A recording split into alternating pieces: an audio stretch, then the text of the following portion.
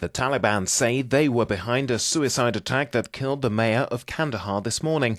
Ghulam Haidar Hamidi was preparing to address a crowd at City Hall when the bomber struck. Afghan authorities say the explosive device was hidden inside the man's turban. Two weeks ago, the brother of Afghan President Hamid Karzai was assassinated in the same city.